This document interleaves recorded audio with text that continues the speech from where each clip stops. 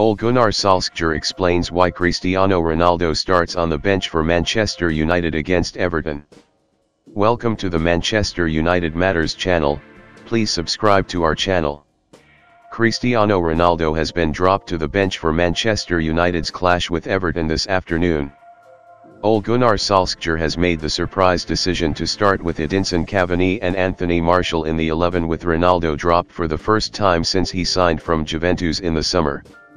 Explaining his decision Solskjaer said, well Wednesday was a big effort, big emotional and physical output so needed to freshen it up. Start of this game is very important, got big players coming on too, we believe it's a team that can take charge of the game. They Martial and Cavani know they are good players, they know they are going to be very important for us. If we are to be successful this season we need to rotate, manage the minutes, we need to make sure we are a big squad and we are together. Even Everton boss Rafael Benitez was surprised at Ronaldo's omission.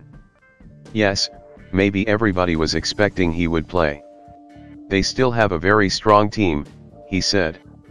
Solskjaer has made five changes from the midweek 2-1 Champions League win over Villarreal in which the Portuguese striker popped up with the winner in injury time. Ronaldo, Paul Pogba, Jadon Sancho and Alex Telles have been dropped to the bench while Diogo Dalot is not in the squad. Luke Shaw returns from injury, with Cavani, Martial, Aaron Wan-Bissaka and Fred also all starting. Man UTD 11, De Gea, Lindelof, Martial, Greenwood, Fred, Fernandes, Varane, Cavani, Shaw, Wan-Bissaka, McTominay.